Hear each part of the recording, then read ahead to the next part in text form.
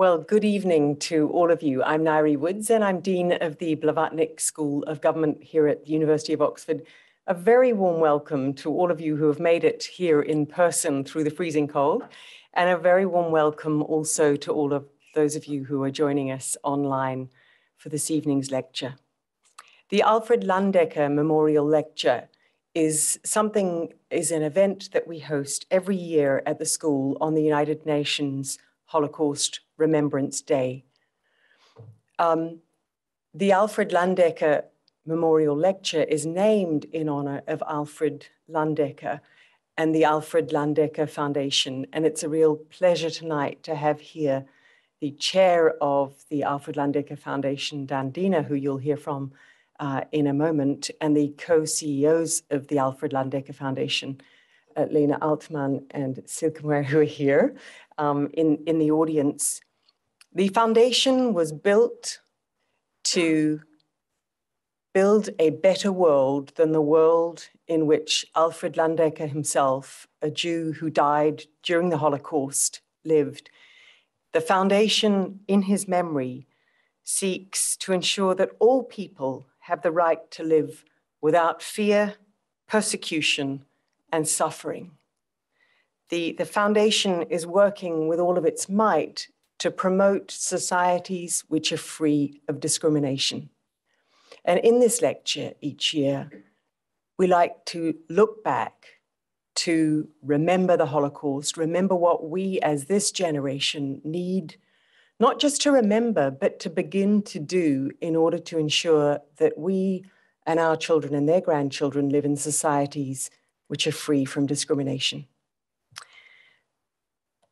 This is the fourth Alfred Landecker Foundation lecture. The first was given by Professor Jo Wolff, who's going to chair this evening's lecture and the discussion among panelists which will follow. The second was given by Dan Diner, who's also with us this evening and is chair of the foundation. And the third was given by Norbert Frei, who is um, on the academic council of the foundation. So thank you all for joining us this evening. And if you can join me in welcoming Professor Jo Wolff, the Alfred Landecker Professor of Public Policy and Values here at the Blavatnik School. Thanks, Joe.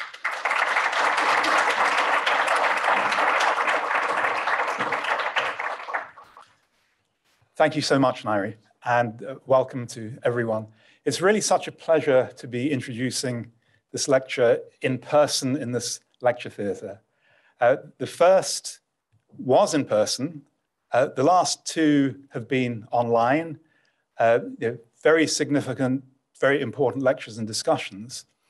But um, there's something special about holding it in person and being in this, we hope, post-pandemic era uh, when we can have events like this. But what we've learned is also the value of the, the live stream and being able to make an event like this available to people all around the world, which I understand is happening. So we're really delighted to be able to do that. Uh, the order of events for today, uh, we'll, we'll, have the lecture. I'll introduce our lecturer just in a second.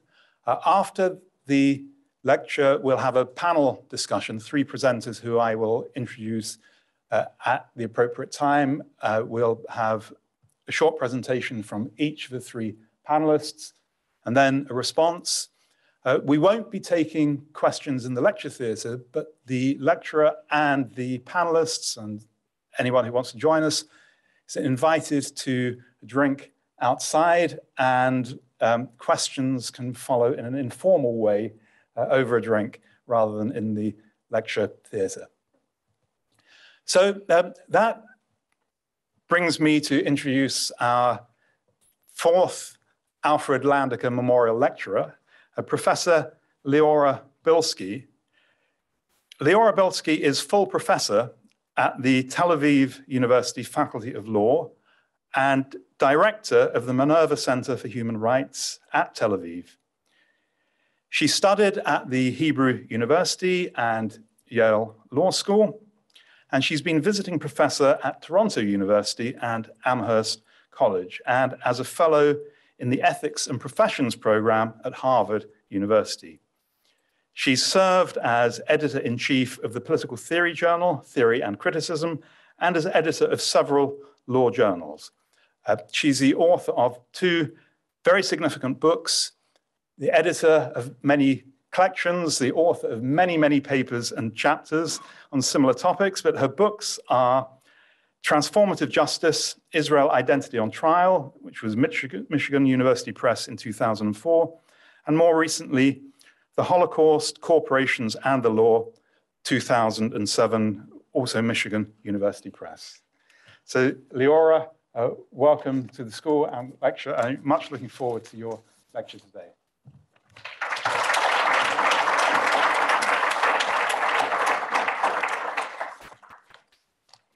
Thank you, Professor Wolff, uh, and thank you for the Albert, Alfred Langendecker Memorial uh, Lecture uh, Foundation.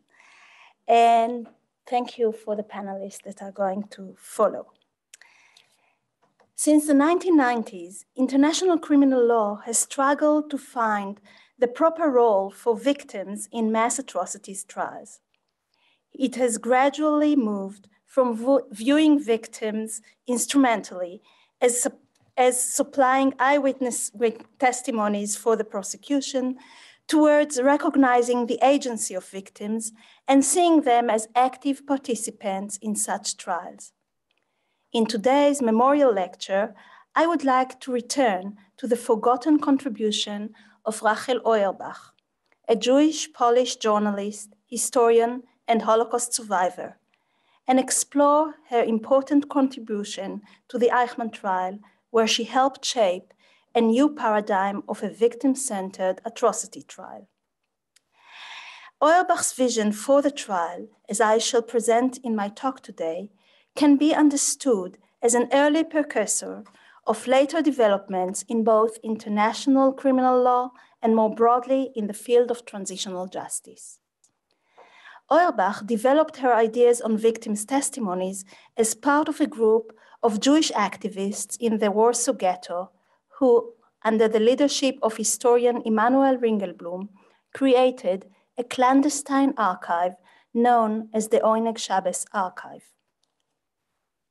These ideas derived from an Eastern European tradition of destruction historiography as well as the new practices of oral history developed in the YIVO Institute for Jewish Research in the 1920s. After the war, Auerbach, who was one of the three survivors of the archives group, became a central figure in preserving and continuing the legacy. She lobbied to search for the lost archive that was buried under the debris of Warsaw efforts that led to the eventual discovery of two thirds of the original archive. She joined other survivor historians in translating these ideas into a new praxis of victims' testimonies. First, in the Central Jewish Historical Commission in Poland, which collected survivors' diaries, memoirs, and victims' testimonies, and published several important books of the documentation and testimonies, and later following her immigration to Israel as the director of the Testimony Collection Department of Yad Vashem. In June 1960, in anticipation of the Eichmann trial, Auerbach gave her first public lecture in Hebrew, in which she presented her novel conception of a victim centered Holocaust trial. She went on to advise Attorney General Gideon Hausner and the Israeli prosecution, who adopted some of her ideas in the trial. Auerbach herself was invited to give testimony in the trial as well, but her contribution and legacy have largely been forgotten in Israeli collective memory and did not receive recognition in the annals of international law. In my talk, I attempt to recover Auerbach's early efforts to reimagine the role of the victim in Holocaust trials by putting forward a new conception of victims' testimony for the Eichmann trial. But before turning to the particular case of Auerbach, it is important to consider the general phenomenon of the erasure and marginalization of the contribution of women to international law. One obstacle for recognizing women's contribution to international law is connected to the demarcation of disciplinary boundaries and notions of expertise. In the last decade, there have been a historian turn in international law with a growing body of research on the distinctive role of Jewish emigrant lawyers in its development. Women's contribution to the field, however, is largely absent from this new wave of scholarship. One explanation is that women were often amateur activists, neither professional lawyers nor professional historians. Auerbach is a good example of this. Although she studied history and psychology at the university, she did not become a professional historian or a psychologist, but rather pursued a career of a journalist, writer, and archivist. Notwithstanding her important contribution to Holocaust historiography, she did not become a university professor and therefore did not have graduate students who could continue her legacy. Her works were published in Polish, Yiddish, and Hebrew, but very few were translated into English. Another obstacle stems from the fact that even when women make important contribution to the field of international law, their role is often marginalized and or appropriated by men. This is certainly true of Auerbach's vision and involvement in the Eichmann trial. The marginalization of Auerbach is vividly demonstrated by the video clips of the Warsaw Ghetto testimony from the Eichmann trial that appear on YouTube. Four different witnesses appeared in two separate sessions dedicated to the Warsaw Ghetto. Tzivia Lubetkin and Yitzhak Zuckerman, among the leaders of the Warsaw Ghetto uprising, were the first to testify and Auerbach and Adolf Berman were scheduled to testify after the lunch break. Auerbach testified about the cultural and intellectual life in the ghetto and about its destruction, while Berman's testimony dealt with the murder of the ghetto's children and attempts to save them. However, of these four testimonies, only that of Auerbach is missing on YouTube. In his book on the trial, Attorney General Gideon Hausner takes credit for the revolution in the part played by victims in the Eichmann trial to himself. He dedicates only a few sentences to Auerbach and her role in the Warsaw Ghetto. While acknowledging Auerbach for providing the prosecution with various testimonies of survivors from the collection of her department at Yad Vashem, he paints her contribution to the trial as technical and logistical at best. New historical research has tried to do her um, retrospective justice, arguing that it was her initiative to open the trial to the testimonies of Holocaust survivors. Indeed, already in the first document Auerbach prepared for the trial, dated November 3, 1960, she requested to rely on living witnesses and Jewish sources. She feared that the trial will be conducted as an ordinary criminal trial based on incriminating German documents and eyewitnesses who saw Eichmann face to face and could directly inculpate him. In contrast, Auerbach wanted to include survivor witnesses who were in the middle of the horrors of the extermination and who survived nonetheless to tell the story.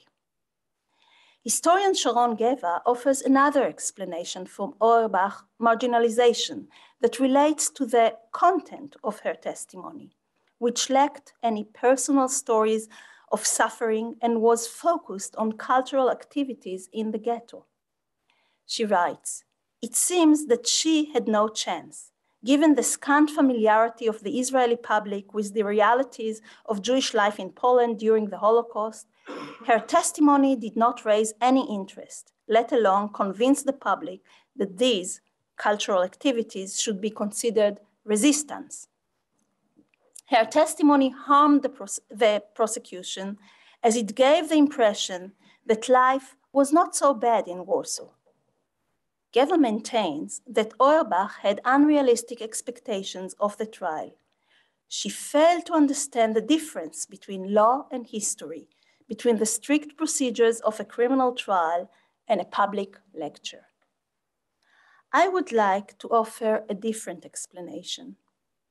The problem, I believe, was not Auerbach's failure to understand the limits of law, but rather her attempt to revolutionize law in a manner that clashed in important ways with the approach adopted by the prosecution. Even though both Hausner and Auerbach shared a conception of the Eichmann trial based on survivors' testimonies, their views of those testimonies and the role they should play in the trial differed. In the following, I will elaborate on Auerbach's conception of victims' testimonies and trace its origins to the practice of Oyneg Shabbes archive. Note its difference from ordinary uh, eyewitness testimonies and show how Auerbach sought to adapt, to adapt it to the trial. I will then turn briefly to Auerbach's own testimony in the trial and explain the connection she sought to promote between the crime of cultural genocide and the act of giving testimony. I will conclude by explaining why Auerbach's novel conception of victims' testimonies is still missing in international criminal trials, notwithstanding the evolution in the role of the victims.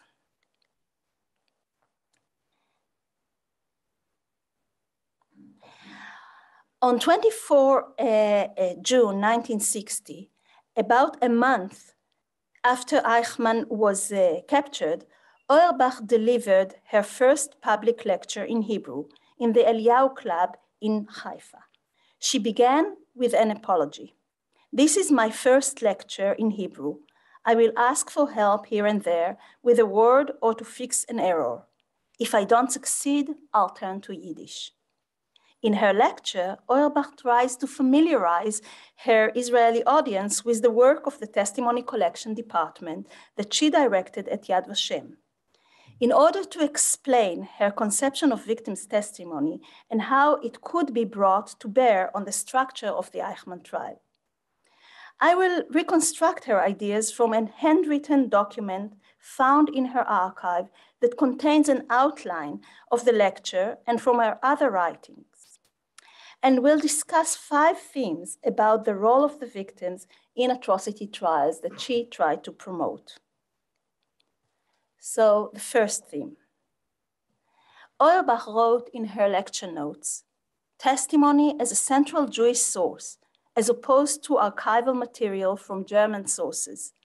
Therein lies its historiographical importance.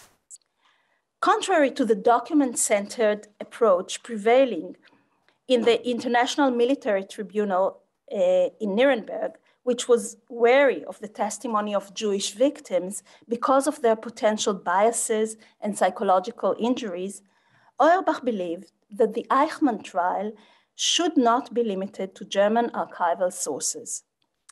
However, as a stateless persecuted group, the Jewish victims did not have their own official archive. Nevertheless, Auerbach sought Jewish sources, and she believed that victims' testimonies could supply this missing perspective. Specifically, Auerbach saw the opportunity in the Eichmann trial to publicly hear the testimonies of Holocaust survivors that she and other victim historians have been collecting since the early post-war days. She convinced Hausner and the Israeli prosecution that it was essential to open the trial to survivors' testimonies. However, Hausner's reasons for adopting this approach differed significantly from hers. In his memoir of the trial, Hausner wrote, in order to merely secure a conviction, it was obviously enough to let the archives speak. A fraction of them would have sufficed to get Eichmann sentenced 10 times over. But I knew we needed more than a conviction. We needed a living record of a gigantic hum human and national disaster, though it could never be more than a feeble echo of the real events. Auerbach also sought to balance German archival documents with Jewish victims' testimonies referring to survivor testimonies as a living archive. However, unlike Hausner, she did not see the testimonies as merely illustrative, as a way to bring the historical record to life. In her view, survivors' testimonies bore an independent historiographical and legal value since they could reveal what the German documents often concealed, the experience of the crime from the point of view of its victims. And she wrote, but we knew that if there was a factor that could silence these doubts, it would be only the witnesses, and not necessarily those who had seen Eichmann face to face, but the witnesses who had been deep inside the horrors of the extermination and had survived in order to tell. This is one of the reasons why she opposed the legalist approach of the Israeli police, who evaluated survivors' testimony as potential eyewitnesses, according to forensic consideration, and wanted to invite about 20 of them. The second aspect.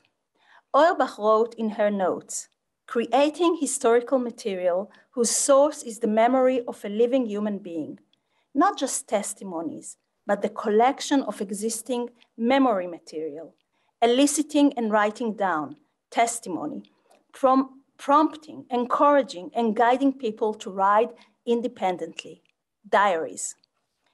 This quote from her Eliyahu Club notes reveals her attempt to challenge the common notion that testimonies exist in the world ready-made, just waiting to be collected. Auerbach emphasized the difficulty by using different verbs to describe the process of collecting them, eliciting, writing down, prompting, encouraging, guiding. Here again, she followed the approach that had begun in Oneg Shabbat, where the various methods for eliciting testimonies had been created, such as encouraging ordinary people to write diaries, to join writing contests, and to collect day to day materials. After the war, the Jewish Historical Commission, to which Auerbach joined and belonged, developed these methods and wrote several manuals for collecting testimonies. Auerbach argued that the high quality of the witnesses whom her department and Yad Vashem recommended to the Eichmann prosecution could be attributed precisely to these meticulous methods of collecting testimonies, as she wrote. Our witnesses were among the best and most prominent witnesses, not only because they were selected on the basis of material that had been collected for years, but especially because our methods of eliciting testimony had trained them to fulfill this task and helped them extract from the depth of their memory the images and experiences that were buried there. In contrast to the legal approach to testimony that views with suspicion any intervention in the witness's testimony, Auerbach insisted that Holocaust testimonies required the interviewer, often a victim himself, to actively encourage the victim to bear witness, given their preference to forget and repress traumatic events. The early practice of collecting testimonies by the victims themselves from other victims diverged from traditional uh, history writing by professional historians after the fact, and from legal practice by policemen after the fact. In her testimony, during the Eichmann trial, Auerbach gives the example of how she wrote down the testimony of Yaakov Krzepicki, the first Jewish prisoner who had managed to escape from Treblinka back to the Warsaw Ghetto after spending 18 days in the death camp. Auerbach interviewed him in the ghetto over a period of several weeks and wrote down his testimony in his own words with her commentary in over 323 pages of notebooks. Krzepicki was subsequently killed in the Warsaw Ghetto uprising. So if she had not insisted on taking his detailed testimony of Treblinka in real time in the ghetto, it would have been lost for history.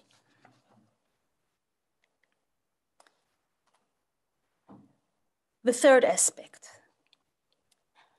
Auerbach regarded testifying as an expression of a collective grassroots movement. True to the legacy of the Ringelblum uh, archive, she rejected the traditional distinction between detached history writing and involved political action.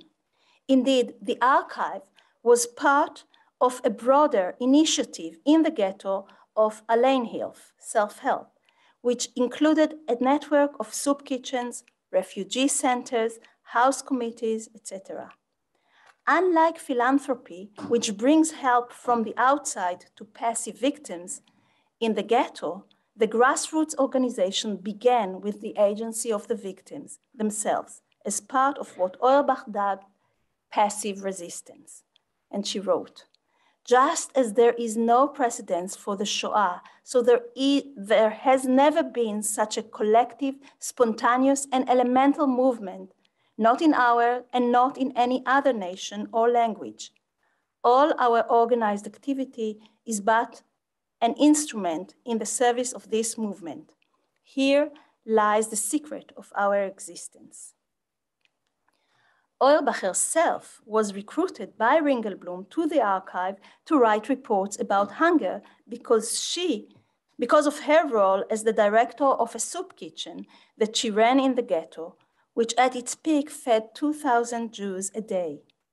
According to historian Samuel Kassow, the kitchen offered her a unique vantage point from which to observe and write the social history of hunger in the ghetto by telling the story of the soup kitchen as a microcosm of human relations and human choices. In her Eliyahu Club uh, lecture, Auerbach depicts the process of collecting testimonies that began in the ghetto as part of a popular movement rather than the domain of expert jurists or historians. She regards collecting testimonies and history writing as part of a grassroots movement of the people and for the people. She stresses the collective aspects of the enterprise and links it to the YIVO tradition of recruiting hundreds of Zamlers, collectors, for its historiograph historiographical project. However, alongside the collective aspect, uh, Auerbach attributes um, importance to the individual voice of the victim. The Eichmann trial, therefore, provided her with the perfect opportunity to translate her approach to victims' testimonies to a legal set setting. In a trial, testimonies are given in the first person voice. Therefore, Auerbach promoted the idea of telling the collective history of the Holocaust through the individual testimonies of around 100 survivors. The fourth aspect. Auerbach was unique in her emphasis on the psychological aspects of giving testimony. She had studied psychology at the University of Lviv, and in her journalist career often wrote about psychological factors in the behavior of individuals and groups. This background evidently influenced her understanding of survivors' uh, testimonies. She did not believe that the therapeutic aspects of testimony conflicted with a criminal trial, but rather saw them as complementary. She wrote, the psychological aspect, release from tragic contact, a psychohygienic popular enterprise, protests and tears. Auerbach rejected the prevailing perception of the time that saw forgetting or silence as a way for the Holocaust survivor to recover. On the contrary, she viewed testimony as part of a process of catharsis, release from tragic material, and regarded the trial as playing an important role in this process. However, it would be wrong to understand Auerbach's approach in terms of individual therapy, such as takes place in the private clinic of the psychotherapist. In the quote above, she describes the process of recovery or renewal in collective national terms. Auerbach returns to the original Greek understanding of catharsis as a process of social purification that depends on a public forum, and on public speech. Greek tragedy and trials were integral parts of the public sphere, and likewise, Auerbach saw survivors' testimony as part of a collective psychohygienic enterprise. In the margins of the page, she wrote, in this trial too, we have to release ourselves from the destructive content. And she added at the end of her notes, finally, we have to make a productive, constructive rectification by passing on the knowledge of the Holocaust. End of quote. By understanding testimony in therapeutic terms, Auerbach was ahead of her time, as the therapeutic approach to victims' testimonies in the law developed only in the late 1990s. When the new model of Truth and Reconciliation Commission was developed during South Africa's transition to democracy. But this transformation was undertaken outside the setting of a criminal trial. The last aspect. Auerbach writes, for us, it is a big thing. It releases us from a sense of loneliness. With this point, Auerbach refers to what she sees as the most important contribution of the trial. Hausner regarded the trial as a means of giving voice back to Holocaust survivors by turning them from passive victims into witnesses for the prosecution. Auerbach, in contrast, did not think that the trial was necessary for this, as the victims themselves had already initiated the enterprise of living documentation, of collecting testimonies in the Ringelblum archival project in the ghetto and after the war, in the commissions they created, and in Yad Vashem. Therefore, she believed that the significance of the trial lay elsewhere in its ability to release the, the survivors from a sense of loneliness. The trial could play an important role not because it transformed silent victims into witnesses, but because it released them from being confined to the bubble of speaking to themselves. I would like now to turn to Auerbach's own testimony in the Eichmann trial. Auerbach planned to testify on the, uh, on the issue of cultural genocide, the deliberate cultural destruction wrought by the Nazis on Jewish Warsaw as part of their attempt to annihilate the Jewish people. Accordingly, Auerbach did not perceive herself as an ordinary eyewitness in the trial, nor did she understand her own testimony in terms of telling her personal story of pain and suffering. She saw herself as an expert witness about the crime of genocide and the Jewish counter response, the agency of victims in finding ways to resist through the act of giving testimony by creating an archive and documenting their destruction. In fact, she wanted to give a meta uh, testimony about the role of testimony. She wanted to explain the link between the new crime and testimony as spiritual resistance. Unlike ordinary witnesses, Auerbach wrote her own proposal to the prosecution about the subject of her testimony that her testimony should cover and kept in her own archive many drafts of her intended testimony. But all her preparation came to naught. Her testimony paled in comparison to her writing and failed to reflect the points she had prepared. Moreover, her testimony was often interrupted by the prosecutor and the judges, who repeatedly asked, asked her to focus on the prosecutor's questions. In a letter she sent to Hausner immediately after giving her testimony, Auerbach wrote, it pains me in particular, and, man, and my conscience is not quiet, that I did not manage to tell, as I had intended to, the story of the spiritual annihilation of the intellectuals. And the case of the murder of the intellectuals is of particular significance in the overall balance of biological genocide. I think that Professor Baron touched on this case in his testimony but did not give concrete data on it.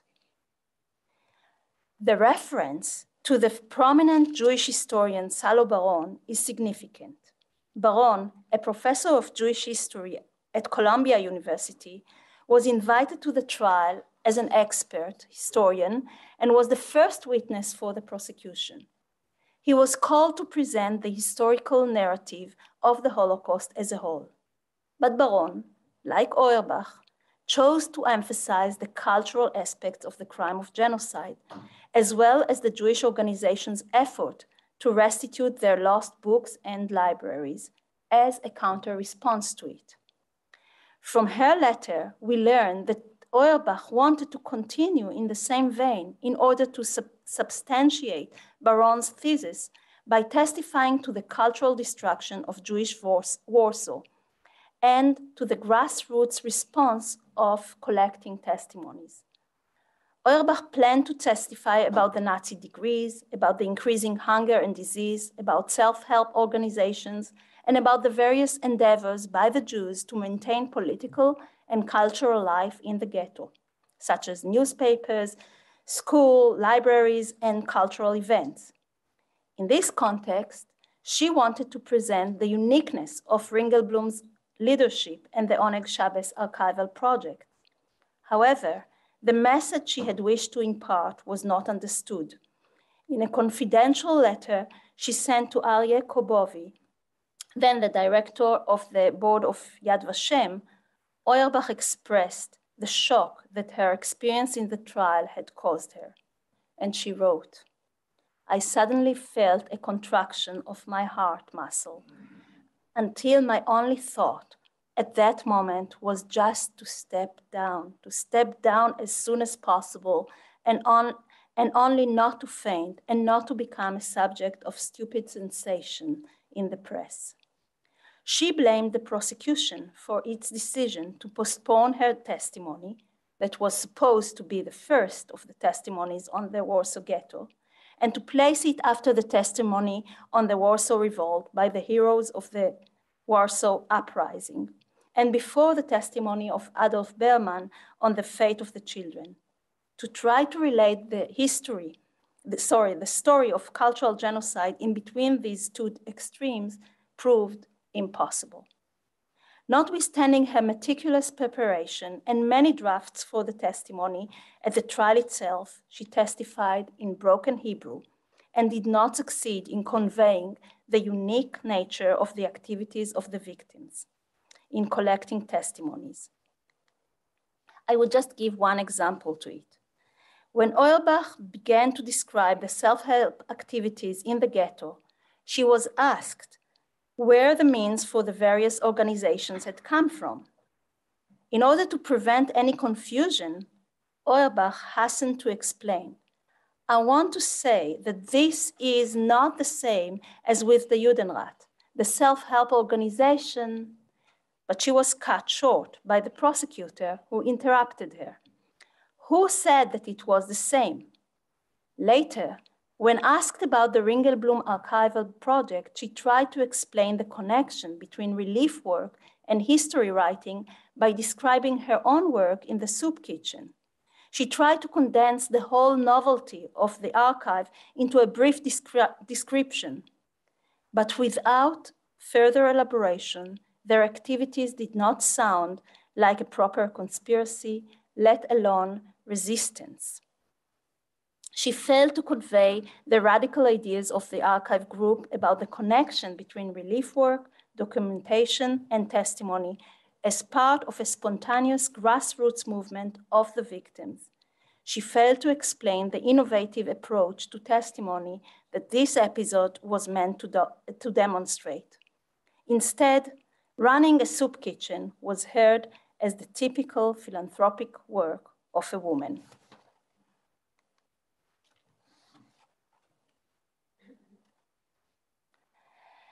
In conclusion, Hausner saw the central innovation of the Eichmann trial in its ability to give voice to silent victims.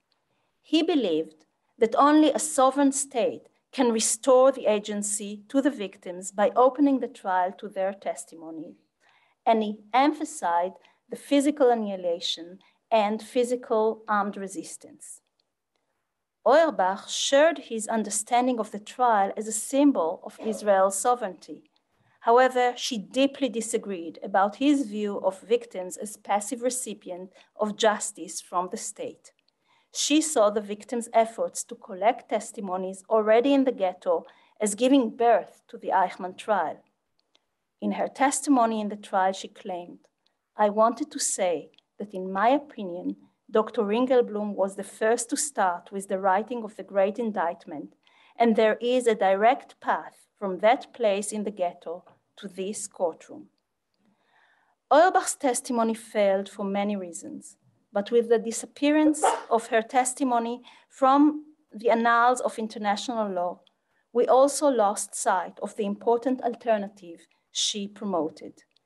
International criminal law still struggles with the questions that preoccupied Auerbach.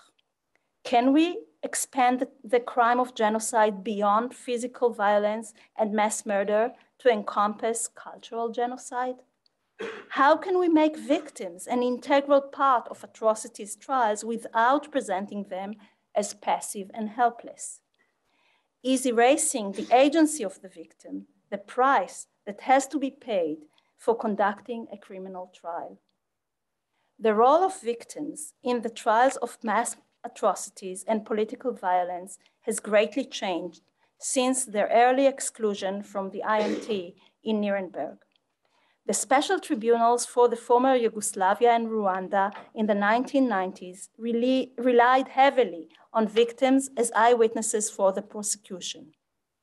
However, they did not become full participants in the trial as a, as a result, the historical narrative these trials advance is of victims as passive recipients of international justice. This is especially true of female victims whose testimonies are confined to stories of rape and sexual violence. The Rome Statute of the International Criminal Court adopted a more victim centered perspective and began to perceive victims whose views and concerns should be given consideration, but it still did not recognize them as full parties to the trial. Auerbach's vision was more radical, since she believed that the victims should play a proactive role in atrocity trials, not just as victims who have personal interests in the proceedings, but also as active participants in the indictment, and prosecution, including the choice of witnesses and the definition of the crime. Auerbach's vision is also relevant to current debates about the gender dimensions of international criminal law more generally. Feminist engagement with uh, international criminal law has largely focused on conflict related sexual violence. Auerbach adopted a more holistic understanding of genocide that encompassed its economic, cultural, and physical aspects. This allowed her to turn her attention to the hunger in the ghetto on the one hand and to cultural resistance on the other. Both aspects involve the, specific, uh, the specificity of women's suffering, but also their agency her view of testimony giving and collecting uh, evidence as antidotes to genocide enabled her to depict acts of resistance in which both women and men took part. Auerbach's vision of the Eichmann trial, even though it did not materialize in full, can offer an important alternative. It allows us to see how an understanding of the crime of genocide that emphasizes its cultural aspects, which were excluded from the Genocide Convention, can be combined with a procedural effort to engage the victims and allow them to become full and equal partners in atrocity trials. This is an important alternative that should be taken into serious consideration. Thank you.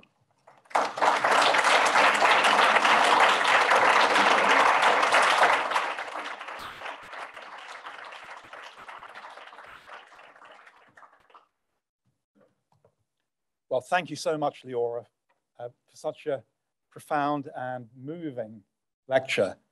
And I, I, think one of the challenges to us, which we will discuss in the panel, is how much we've learned and whether we've moved on from described there. And so uh, what we will do now, uh, we'll have three responses. Um, I'll introduce the three panelists now and then invite you to take seats in a moment, but I'll, I'll um, introduce you first. So the first response will be from Professor Dan Diner, who, as you have heard, is the chair of the Alfred Landecker Foundation. He's Professor Emeritus of Modern History at the Hebrew University of Jerusalem. The second response is from Dr. Nicola Palmer, who is reader in criminal law at the Dickson Poon School of Law at King's College London. And the third response is by Federica D'Alessandra, who is the Deputy Director of the Institute for Ethics, Law and Armed Conflict here at the Blavatnik School of Government. So uh, what I suggest is we all come and sit in these five chairs here, including Leora, and um, I think it will work if we speak from the chairs rather than coming up to the uh, podium. So.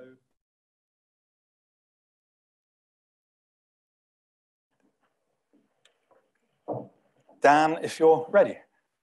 Well, thank you. Thank you so much, uh, Jonathan. And um, thank you very, very much, Leora, for your extraordinary and thought-provoking lecture. Um, I learned quite a lot and my reaction would imply your presentation and I would like to move it concerning the arguments or to focus on one argument relating to the question of individual witnessing and collective witnessing. There's a big change concerning that kind of a crime, which is not only a mass crime, but has a specific character. And the specific character is that it's a crime without a reason and without a meaning. And in order to add a specific moment, it's an industrialized murder. And in so far, it's the fabrication of deaths at the core of the event of the Holocaust. I would like to put one argument forward relating to a subject matter that I'm interested in, the subject matter of legal anthropology. Witnessing a collective murder, which means everybody and everywhere has to be killed belonging to the collective. The Holocaust transcends because of its exterminating nature. The concepts, the notions, and the norms of domestic criminal law. The question is, what is the moment and the place of the witness confronting such a crime? And that's quite problematic. And I will relate later on, five minutes, to the core of the presentation of Leora. What is the meaning of industrial killing? It is the constant repetition of the same. And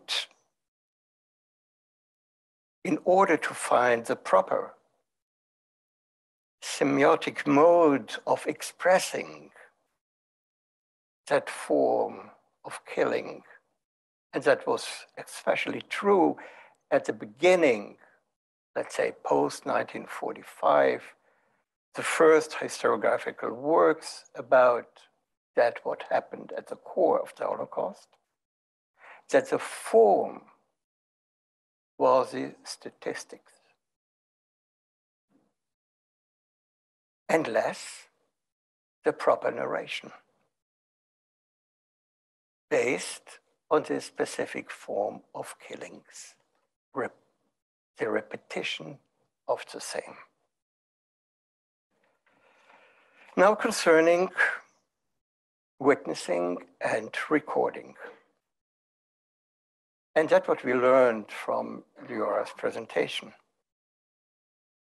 Her perspective, the perspective of Rachel Auerbach, was, and that has to be put forward, in distinction or even in juxtaposition to the industrialized murder in the death camps, the perspective of the ghetto. That's a quite different frame of perceiving and understanding. In the ghetto, well, and that's what it seemed to those incarnate there, where, well, social life continued. Continued at a specific, obviously, specific pressure. We learned about it, hunger, and other forms of suppression. But still, it was in a social fabric which indicated something which resembles normalcy. However, it was the forecourt of collective death. What was the epistemic angle of witnessing and telling the victim's story? And what can we learn? What can we understand from that specific constellation? Hardly a victim, also Leora told us about the person who escaped the death fabric of Treblinka. But by and large, hardly a person escaped the heart of darkness, which means the gas chambers, nobody escaped. Nobody escaped the death of suffocating as a form of collective destruction at the heart of the very event. The view from the view from the ghetto is a view from the periphery. It's not the heart of the event. And that makes telling, recording, and explaining the story more possible. I'm, I'm finishing. Yeah, yeah, I know, I know. Sorry for. I just wanted, well, to finish my very short intervention and argument. The witness, and that's a new form of witnessing concerning mass atrocities, is a witness who is telling the collective story of the very event, composed of that what was seen and recorded. But it's not the heart of the story of the collective crime, representing the collective that was doomed to die. Thank you so much.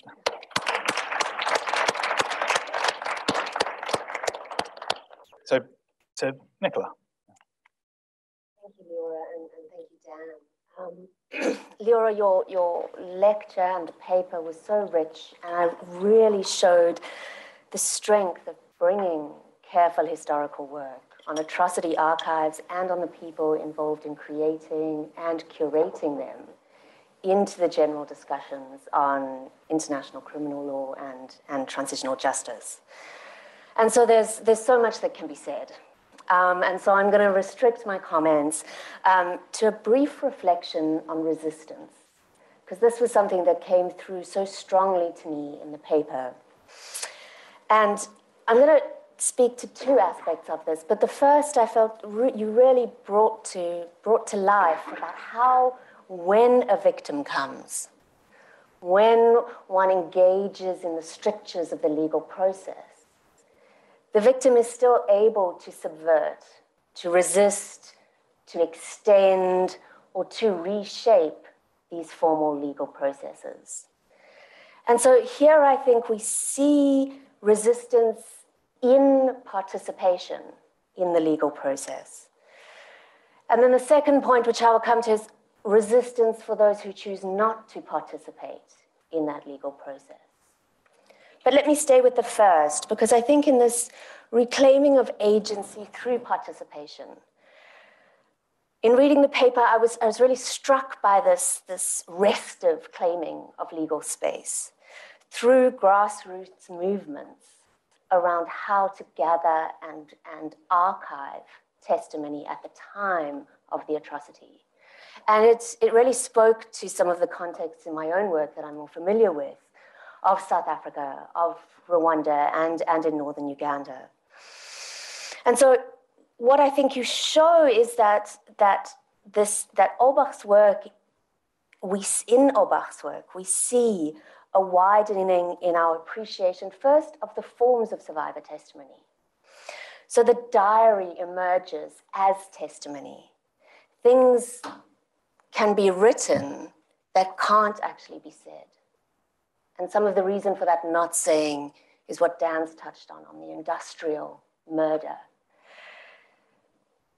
But we also, but we see in this writing as a new form of testimony, in this documentation, a form of resistance itself.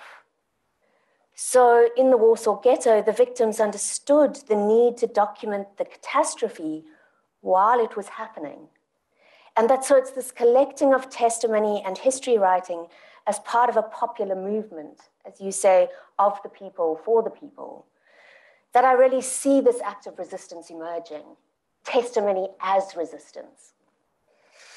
And I think Auerbach's work and her, and her writing on this wider endeavor of how those inside of the ghetto then maintain their Jewish political and cultural life through newspapers, schools, libraries, and cultural events as here we see testimony as resistance, but then we see culture as resistance to genocide in particular. And so, gathering testimony through grassroots movements, I think, is something we are increasingly seeing as a way of responding and broadening our responses to large scale violence. So, here I, am thinking in the South African context how, in the wake of the TRC, We've seen the push for new individual prosecutions coming from the, the Khulumani support group, which is a grassroots survivor based social movement, who have carefully collected and recorded the testimony of the original 130,000 victims of apartheid abuse that were then slowly whittled down through the official processes of the TRC. I think we also see this, the new forms, the way the resistance, the resistance through testimony in the wake of the TRC, where we've seen the Commission of Inquiry in South Africa that was set up following the Marikana massacre, where in August 2012, the South African Police Service opened fire on striking mine workers, killing 34 of them.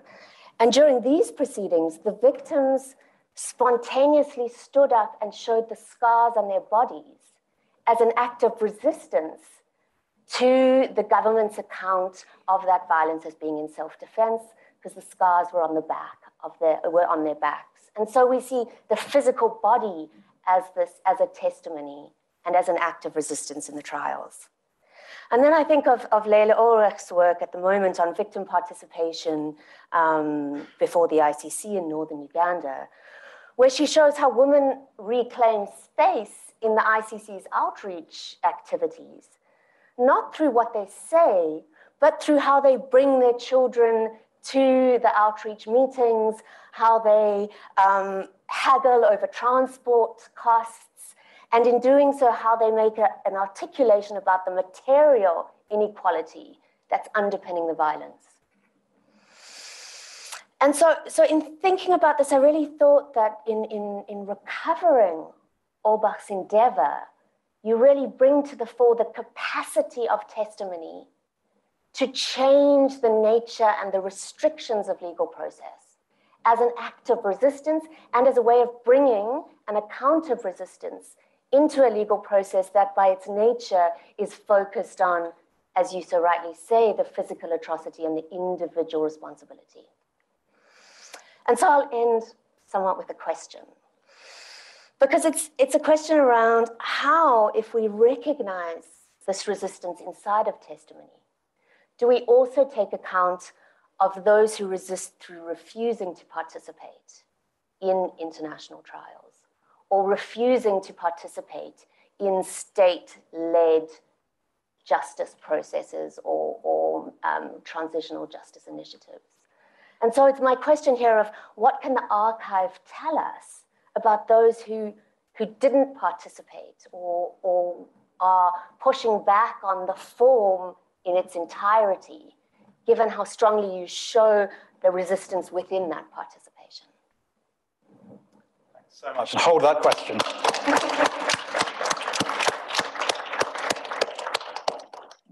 Federica. Thank you, Jo. Um, and uh, thank you, of course, to our uh, brilliant keynote, to Nicole and to Dan for such an insightful discussion so far. It's truly an honor to be able to participate um, on uh, um, Holocaust Remembrance Day. Um, I've learned so much, and um, I wanted to draw out uh, just a, a, couple of um, uh, points that I think are key uh, arising precisely uh, from, from your presentation. The first is the, the importance, as you underscore, of inclusivity and um, diversity of voices in international law and international justice.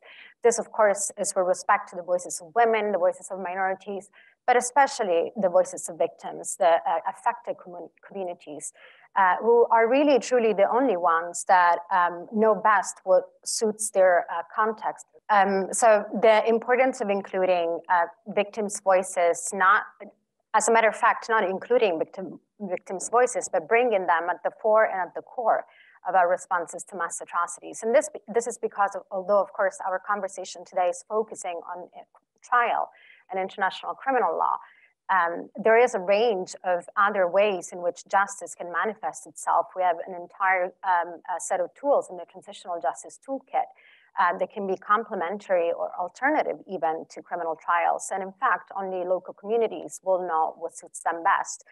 Uh, and I think that this goes to the core of this uh, notion of uh, victim-centered justice, uh, of victims as not just equal protagonists, but the main stakeholders in the justice process. And um, what I want to um, draw everybody's attention to um, is, in a way, uh, how we're seeing some of the elements of the legacy uh, of Auerbach's conception of victim-centered justice playing out in international, um, um, in the accountability space today. Uh, and this is precisely because I submit uh, um, victims agency is reshaping and changing this field in at least three important ways. The first one is um, with respect to the documentation and investigation of atrocity crimes itself. And this is where I think there is some of the most interesting parallelism with the work um, of Auerbach. Um, this notion of grassroots movements, victim-centered, victim-driven justice movements of the people, uh, for the people, as you call them, uh, where we have local civil society actors that now have become so immensely apt at documenting and investigating atrocity crimes um, including by taking judicial standards into account precisely because they enter into these documentation processes with the idea of accountability proceedings down the line.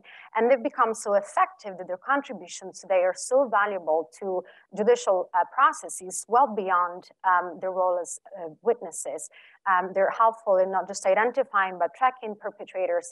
They're, immensely helpful through documentary technologies in helping prove uh, patterns of violations, chain of command, um, and other elements that are important to establishing not only the commission of international crimes, but also who did it and against who. And I think that that's where really uh, their contribution is most important, um, telling the story of the crime from the perspective, perspective of the victim, we can make sure that the less visible violations um, are not only properly taken into account, but also that the intersectional identities of victims are uh, accounted for. And this is something that we failed to do historically in the international justice field. Uh, and I'll give you two examples uh, with women uh, being reduced, um, the, the, experience of women being reduced to uh, being victims of sexual or gender-based violence, or the experience of children, often in war, being reduced to uh, uh, their conscript, conscription as child soldiers, or in the case of girls, often um, human trafficking. Um, um, similarly to the uh, to Auerbach's work, I see this work as foundational to the ability to uh, bring perpetrators to justice. And in fact, I think we can see a direct path, as you called it, um, uh, between these documentation efforts and a lot of the uh, justice and accountability proceedings we're seeing. Uh, in fact, I think we're seeing a cascade of accountability proceedings, uh, be they before the International Criminal Court, but also before the International Court of Justice, uh, as well as um, in third country um, pursuant to universal jurisdiction, um, where we're seeing the evidence that uh, these groups in the civil society, these local victims groups are gathering really uh, playing out in the courtroom.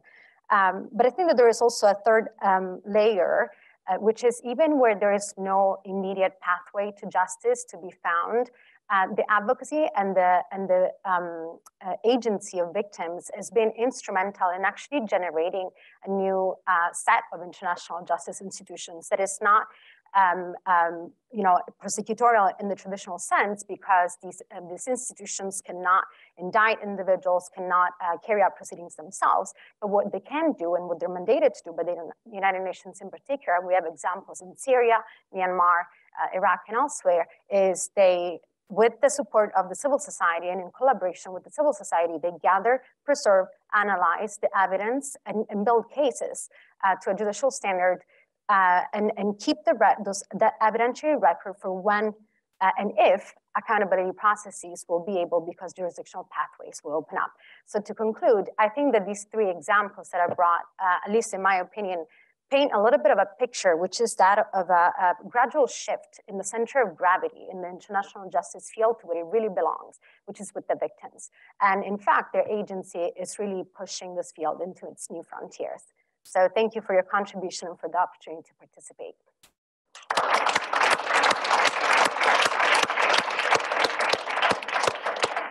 So, uh, Leora, we, we have time for a short response. So, short. Well, um, so if you take, so this is going to be very cruel to you, one minute per participant, and then drinks out there, and we'll continue the conversation. Thank you. Thank you for your very thoughtful reactions. And I'll uh, go by the order of uh, uh, speaking. So, Dan, first, um, uh, you know, you anticipated my next uh, uh, research, which is on Auerbach, who published this, maybe the second book on Treblinka, in the fields of Treblinka. And there, she's looking for a new way of uh, witnessing a death camp as opposed to, uh, uh, to ghetto and to deal with the question of statistics or narration that you are uh, telling about. And what she's doing is looking for a new kind of witness and she turns to things, clothes, everyday things, and to earth itself as her new inanimate witnesses. But when she does it, she goes back to the statistical documentation by the victims themselves who were part of the Sonderkommando in the death camp and took note of the numbers of how many pens were uh, uh, stolen and so forth. And so she's creating a statistical uh, witnessing, but she cannot do it, uh, do it only with numbers because she understands testimony as also bringing back the humanity to a dehumanizing murder. So the question is also always for her, how do you document the dehumanization, which is statistics, numbers, etc., while keep on bringing back the, the stories, the narration, the humanity of the victim as testifying, testifying. And she finds various solutions to this. One of the solutions is to document the language, the changed language in the death camp.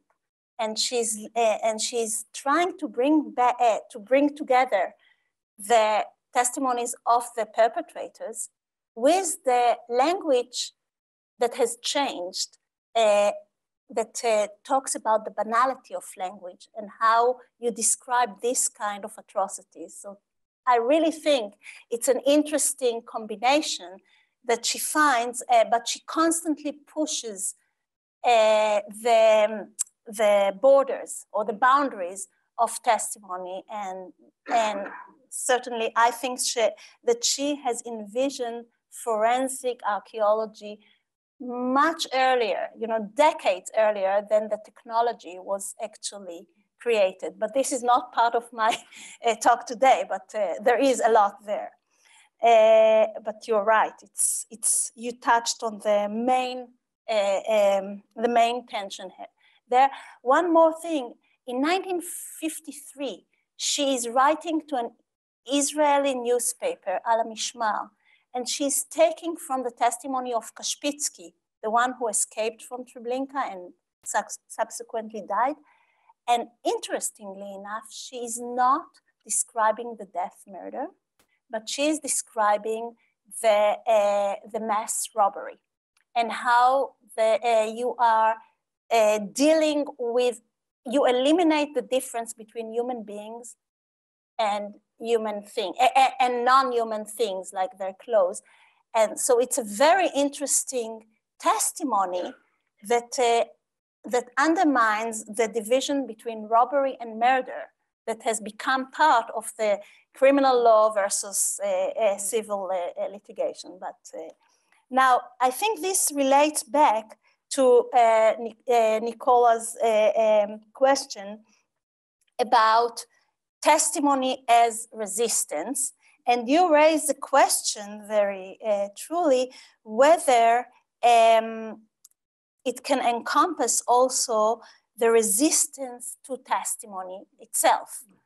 And I think that the various ways that uh, Auerbach is trying, Auerbach is still uh, committed to talk, but you were right, she's going beyond talking to, uh, to writing, but also she's very interested in film. So for example, she takes the Nazi film of Warsaw Ghetto, which was a propaganda film taken just before the, the elimination of the ghetto, but was a silent movie.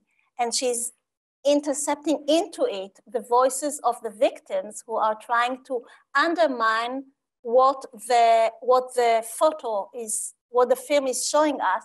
And this she has done in a testimony she gave to Raphael Lemkin, who was trying to collect testimonies to, uh, to bring into the Nuremberg trial. And there, instead of talking about genocide as mass murder, she's talking about the role of the camera in genocide, that it is an important role uh, even more than murder by the way it uh, transformed the victims themselves. So I think this is um, this is not a refuse, refusal uh, to testimony, but it is constantly testing the limits of representation and the limits of uh, uh, testimony. But I think that as a woman, it's really interesting, it is really important to understand for her that resistance is not just physical and that words can be resistance, which allow a whole spectrum of uh, uh, participation and thinking of women and the specific forms of, witness, uh, of women's uh, participation, both as victims and as um, resistors to the, to the crime. And uh, uh, Federica, the Transitional Justice Toolkit, you are very right to stress that criminal law is not everything. And that uh, uh, there is in international law this move to put criminal law at the center of it because this is the most serious law that we have, but it has its own price. And I think that victims constantly uh, uh, see the prices for uh, focusing on murder as opposed to robbery, focusing on extreme violence as opposed to everyday violence and the kind of inequality that women suffer more. So I think that, um, that first of all, it's important to go beyond the, uh, the criminal law. Uh, such as in the TRC was not criminal law, but, but I also think you are right that victims became a part of grassroots collecting evidence and mostly using cameras and uh, technology as a counter uh, um, counter uh, form of uh, resistance or returning the gaze back uh, from the victim to the uh, to the perpetrator. So again, I would say this is very different from the hierarchy that we are used to in criminal trials, lawyers versus, uh, um, versus victims, historians versus uh, uh, witnesses, uh, but also back to Dan's uh, important distinction between the individual and the collective. Law always wants individual witnesses, and it is a quite a difficult uh, um, matter when you deal with collective crimes, which uh, uh, both tries to isolate the victims, but also take off their agency by separating them. So I think that thinking about the price of the form of law, that the law that, that is not transparent, it comes with its the, the, uh, demands, and these demands can a lot of time blind us or um, change the, the crime itself when talking about it. This, I think, is part of the legacy that not only Auerbach, but the whole uh, archive group were trying to create. So thank you, all of you. I hope that I stayed uh, within the time limit. Uh, no, you didn't, never mind. Never mind.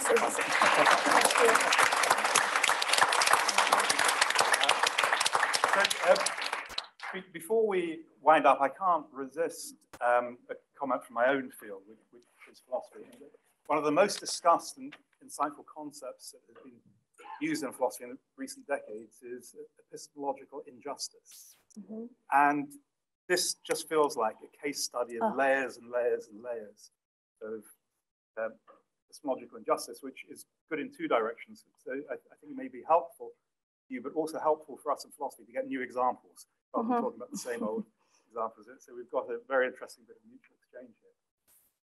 So before we wind up, I would just like to thank the behind the scenes staff that have made this possible. The events team, uh, audio, visual, and communications, who have done a brilliant job between them of bringing us all together and making this possible and making the live stream possible. But most of all, I want to thank the panelists and Leora for a really brilliant occasion, I believe. Thank and you. I'm sure we all share that and we will continue the discussion over certainly drinks, maybe a few snacks, not too sure, out the back just now. Thanks so much.